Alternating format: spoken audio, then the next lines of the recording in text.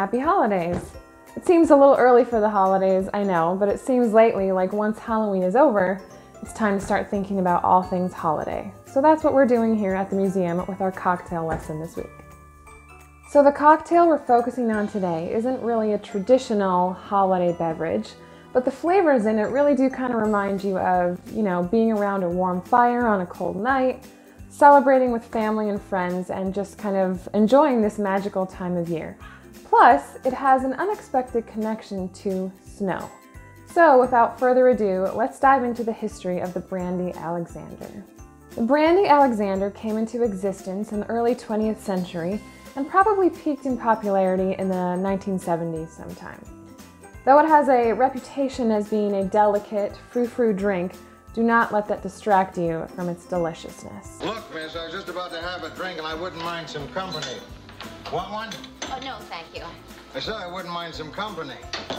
Well, all right, I'll, I'll have a brandy Alexander.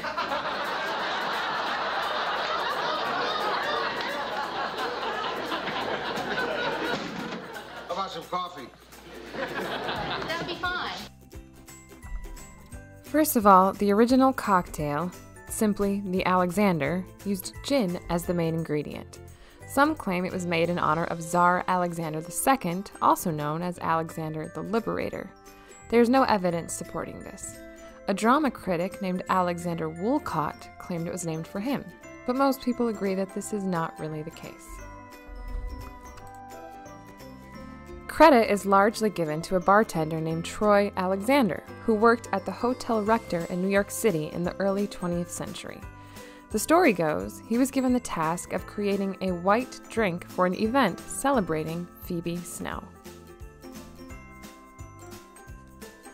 If you aren't familiar with Phoebe Snow, that's perfectly understandable. Neither was I. First of all, she is fictitious, nothing but a whimsical promotional creation. She was a tool dreamt up by the marketing wizards of the Delaware, Lackawanna, and Western Railroad. They burned anthracite coal, which at the time was advertised as a cleaner form of energy that made travel by train more appealing. At the turn of the 20th century, many Americans saw rail travel as dangerous and dirty. Trains that ran on bituminous coal, which was softer, could leave some passengers with a layer of soot over their traveling clothes. The DL and W Railroad conjured up the pristine Phoebe Snow as a symbol for the cleanliness of their anthracite burning passenger trains. Her all white clothing and pure, unblemished appearance, despite traveling by rail, was meant to encourage those upper crust and fashionable Americans who may have been scared away. Phoebe Snow became something of a cultural icon of the times, and the railroad eventually even hired an actress to portray her at promotional events, where she would meet passengers and pose for photographs. When she disembarked the train during these appearances, she would ride in a carriage drawn by four white horses. The Brandy Alexander is super easy to make, lucky for us. So you just need about three ingredients, four if you count the nutmeg. So First is you need the cream de cocoa. Now, in the Frostings magazine I put to get dark, I have light. Just use whatever you have. Um, of course, you need brandy. That's pretty key for a brandy Alexander. And of course, you need some cream. And for your garnish, most of you probably have this in your cupboard anyway, you want some ground nutmeg. So, like I said, it's really easy. You need a shaker. Gotta have ice in your shaker. This is one of those drinks that you shake, which is fun. Uh, so, what you do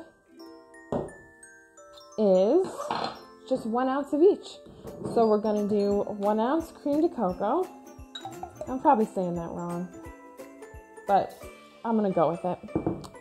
And then one ounce of brandy.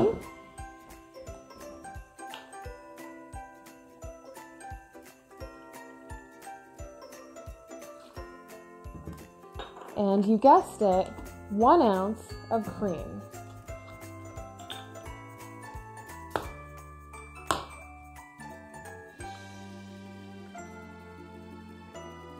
Boom. And what comes next, the fun part, we shake it.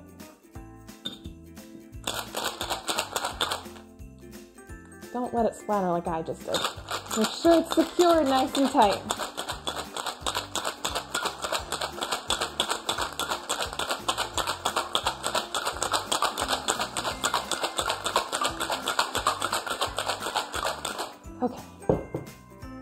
Very, cold when you do that.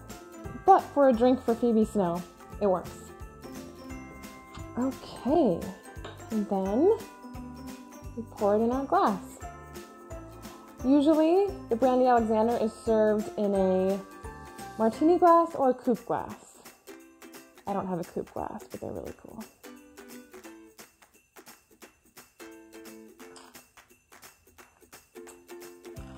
Okay, and then we're going to just put a little dusting of nutmeg just to make it look pretty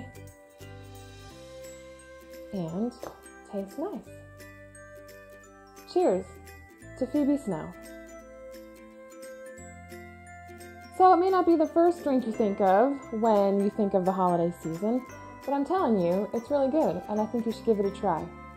Cheers and happy holidays.